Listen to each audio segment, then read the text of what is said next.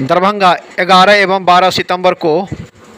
दरभंगा के मिथिला विश्वविद्यालय परिसर अवस्थित जुबली हॉल में दो दिवसीय भारतीय जनता पार्टी किसान मोर्चा प्रदेश कार्य समिति की बैठक आयोजित किया गया।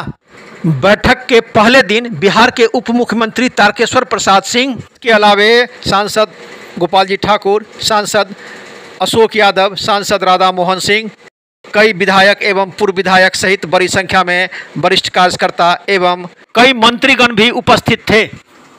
इस कार्यक्रम में उपस्थित थे। वंदे मातरम के बाद दीप जलाकर इस कार्यक्रम का विधिवत उद्घाटन किया गया। अतिथियों को पाग, चादर एवं शॉल देकर सम्मानित किया गया। मुख्यमंत्री ने कहा कि केंद्र सरकार और राज्य सरकार की जो योजना है, किसानों तक कैसे पहुँचे, इस पर इस दो दिवसीय बैठक में विस्तृत चर्चा की जाएगी।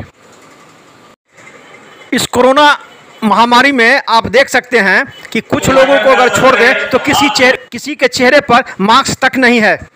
दरभंगा दर्शन न्यूज़ से मनोज झा।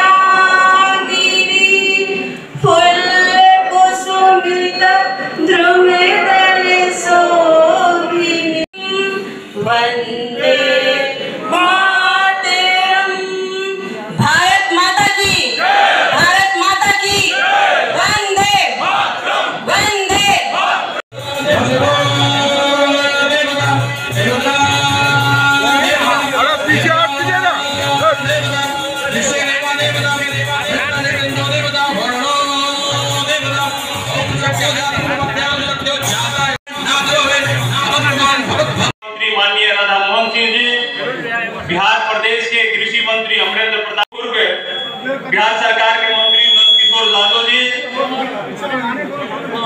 गोपाल जी ठाकुर जी, स्थानीय सांसद अशोक यादव जी जीवेश मिश्रा जी, बिहार सरकार के मंत्री संजय किसान मोर्चा बिहार प्रदेश की दो दिवसीय कार्य समिति की बैठक आज दरभंगा के जुबली हॉल में प्रारंभ हो रही है। जहाँ केंद्र सरकार एवं राज्य सरकार के द्वारा जो किसानों के हित में निर्णय लिए गए हैं, जो योजनाएँ चल रही हैं, वो आम लोगों तक कैसे, आम किसानों तक बेहतर ढंग से पहुँचे, इसकी चर्चा होगी।